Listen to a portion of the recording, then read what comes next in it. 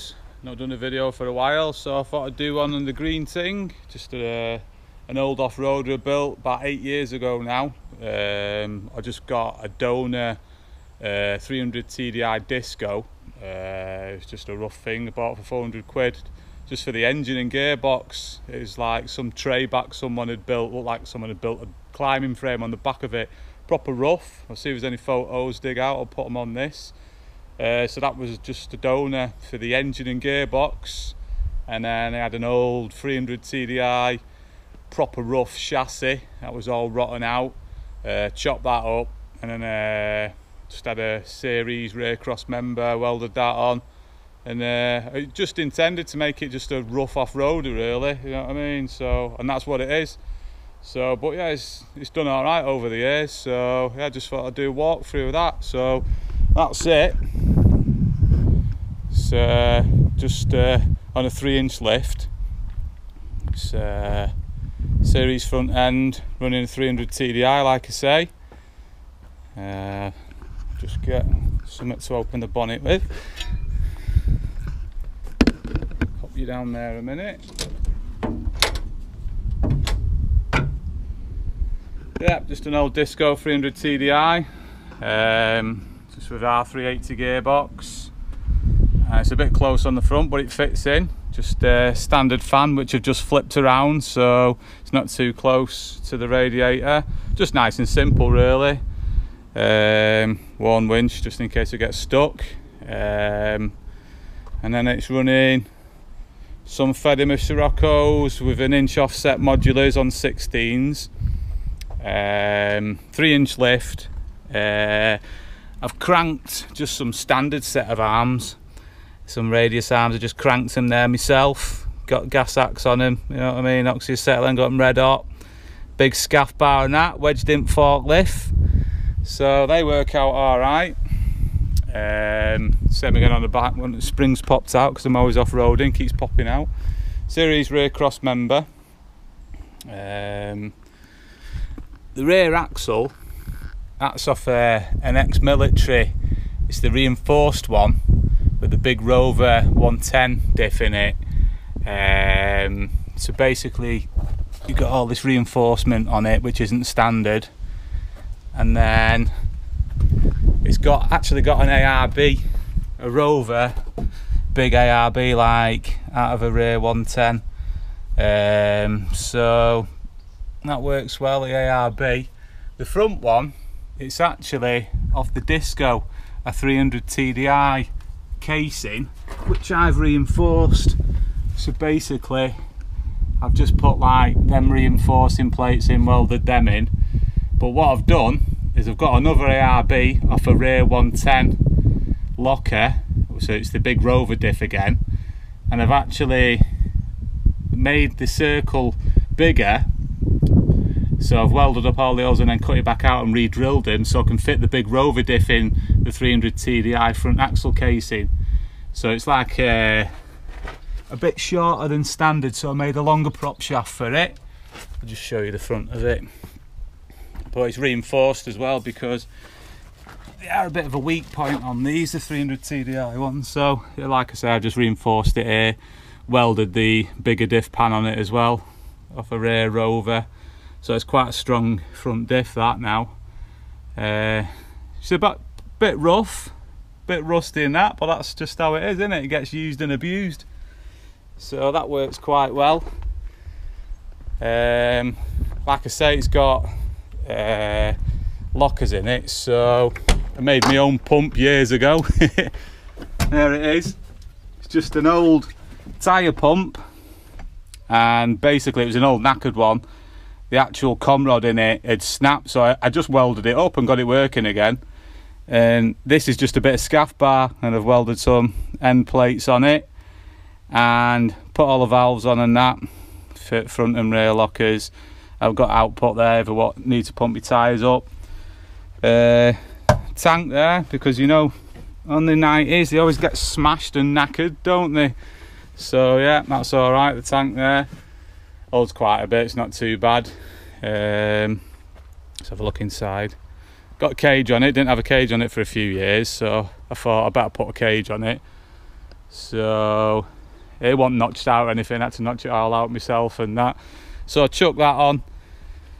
That goes there. I don't know if you'd be able to see it underneath there.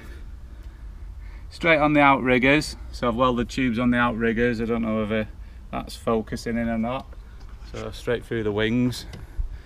Um, on these bits where people just normally bolt it straight to just like the tub, that's no good. Got to bolt it to the chassis somehow. So inside, I'll just move this out. I left this undone so you can see it. I've just done like another section inside there bolted to it and then that bolts to the bottom of the tub and then underneath we've got another section again which is made up and that goes on top of the chassis. So it's quite quite strong. Bit of angle there on top of the chassis. So that's quite strong there. And then on the back end you see there I've done it again like so. It bolts on the tub there. I've just done some more brackets bit of tubing again. That bolts to the bottom of tub and then going underneath you got another section there again. That's quite normal that though. Normal setup which they have. That goes on a rear cross member. So yeah nice and simple but it's strong. So does the trick. So I need to bolt this back in. So yeah inside nice and simple. Just a couple of bucket seats um, standard 300 TDI dash. Even got a system in it. Even got a bass bin in it as well. So and it, yeah it's just rough and ready really. And steering wheel it's an old MG Metro one.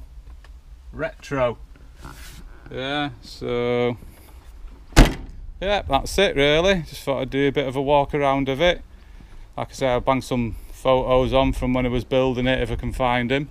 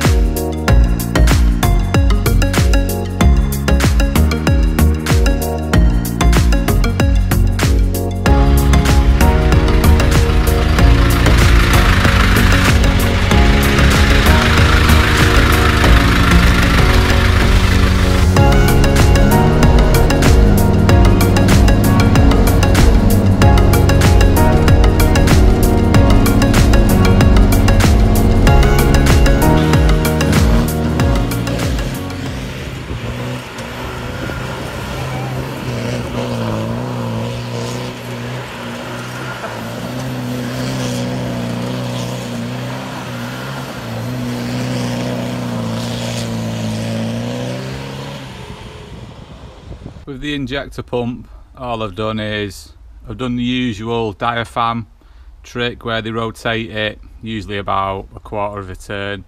But just so it gets the optimal angle on the boost pin the pin which goes in the concentric pin. So it makes the the fuel pin move the most travel in and out.